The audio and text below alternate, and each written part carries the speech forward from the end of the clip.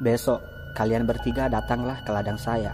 Kita akan menebang kulit manis untuk belanja raya di pekan depan. Ketiga orang temannya itu pun setuju. Sebelum liur embun di pagi itu benar-benar meleleh di kaki hari, mereka semua bahkan sudah mulai menebang, membelah, dan juga mengupas satu demi satu kulit manis tersebut. Sepertinya belum juga sempat matahari tergelincir dari atas cakrawala.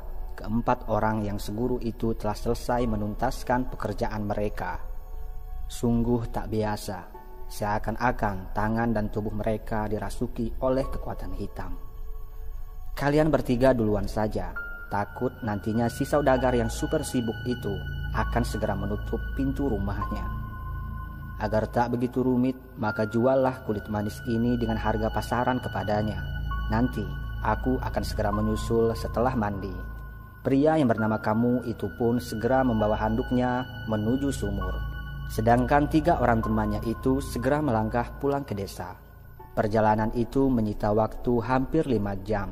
Wajar karena ladang kamu memang terasing jauh di jantung rimba. Meski pihak Taman Nasional telah berulang kali memanggilnya ke Balai Perhutanan, namun berulang kali pula kamu memamerkan ilmu kebalnya itu di hadapan mereka. Akhirnya, tidak ada lagi yang berani menegurnya. Kamu merdeka. Setelah menjual kulit manis tersebut, ketiga orang temannya itu menunggu kedatangannya. Namun, kamu yang ditunggu-tunggu itu belum juga menampakkan batang hidungnya. Hingga senja menua di ufuk barat, ketiga orang temannya itu pun memutuskan untuk pulang ke rumah mereka. Satu dua hari berlalu, dan berminggu-minggu juga telah berganti. Namun, kamu seakan-akan telah lenyap ditelan oleh bumi. Pondoknya bersih tanpa debu dan arang di dapur. Pakaiannya terlipat rapi di lemari kecil. Handuknya tersampir di dinding. Tempat itu seakan-akan telah dibersihkan sebelum ditinggalkan oleh tuannya.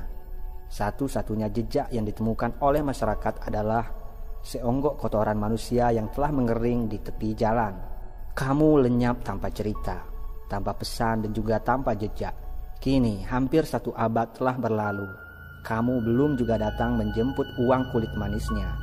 Ke manakah si kamu, si kebal itu pergi? Ataukah ia sudah berubah menjadi tai?